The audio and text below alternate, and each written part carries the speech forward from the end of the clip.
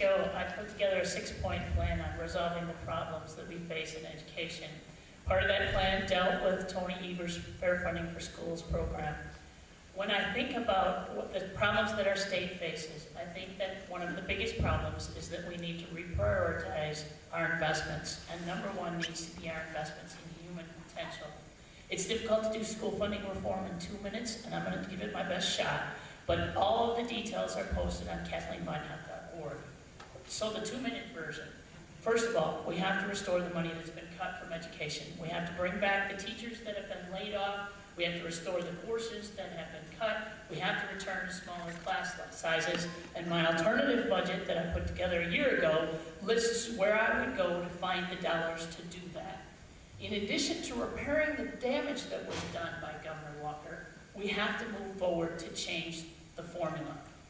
I propose a five-year phase-in, beginning with emergency funding in this coming school year. Those of you who are involved in education know that the coming school year is going to be worse than the current school year for a number of reasons. In, and, in this, and then I follow with two different budgets in which we would phase in most, but not all, of Superintendent Tony Evers' fair funding for schools. I would adopt the new formula in next year's budget and then fully phased, phase it in in the following year. I would hold wealthy schools harmless as I brought up the aid to those schools that are now struggling. At the same time, we need to put in place new accountability measures for all schools, including charter and voucher schools. And that means increasing schools' responsibility for graduation rates, reducing the achievement gap, and holding schools responsible for changes in student performance.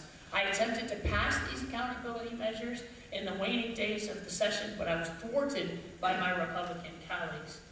We also have to, this wasn't part of the question, but we also have to restore the funding for tech colleges, UW, and invest in needs-based financial aid. And we have to recognize that not all, not, not all smart students are rich students.